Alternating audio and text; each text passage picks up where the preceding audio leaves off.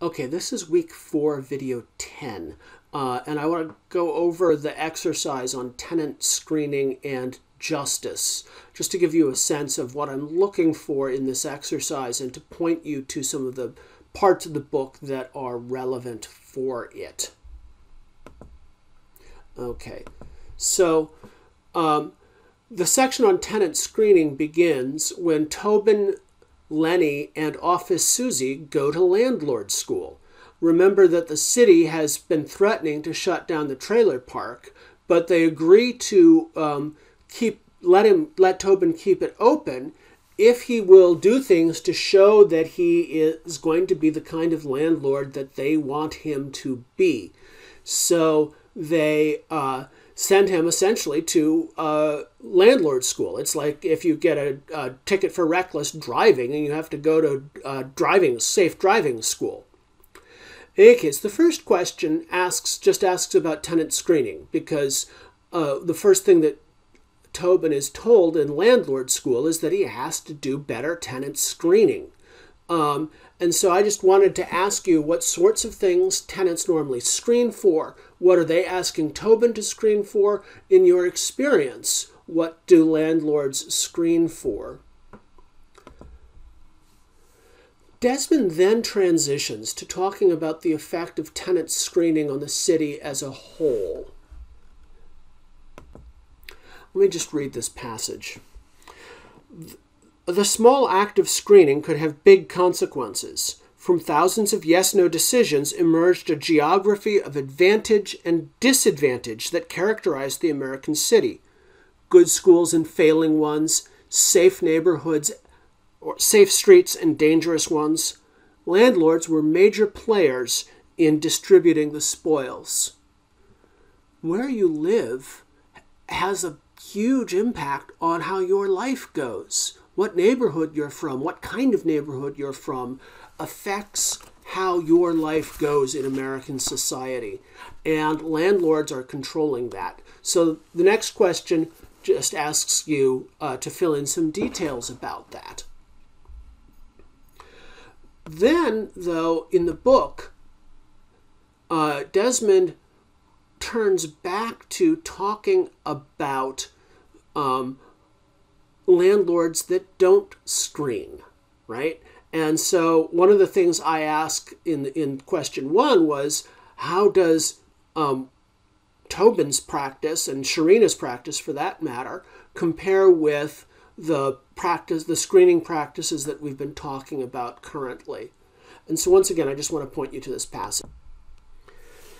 Some landlords neglected to screen tenants for the same reason payday lenders, lenders offered unsecured high interest loans to families with unpaid debt or lousy credit.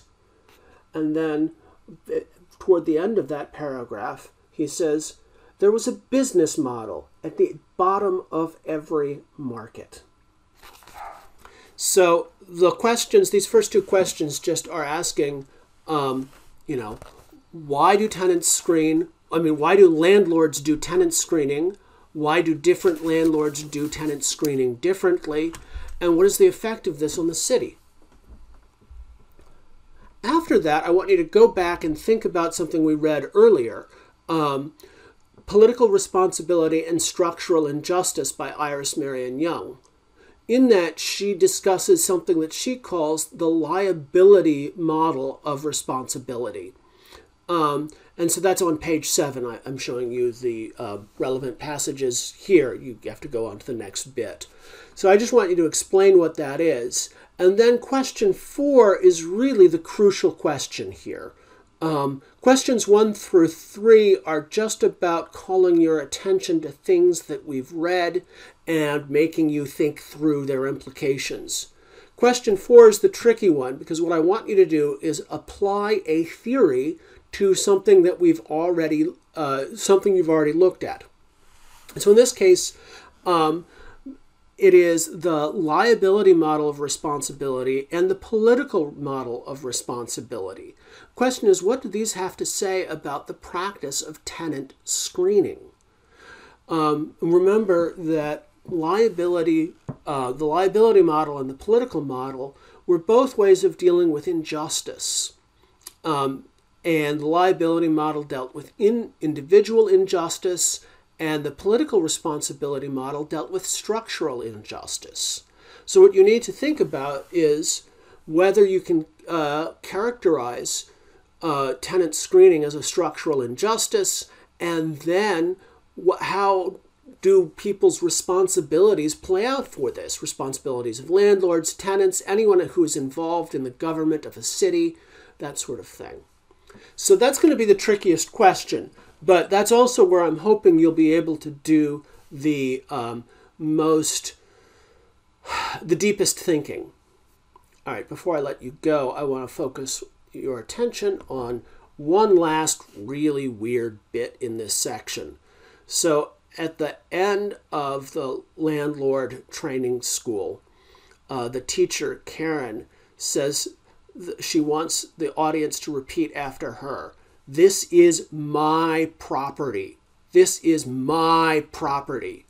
Um, and then in the end, all of these landlords are chanting together, This is my property.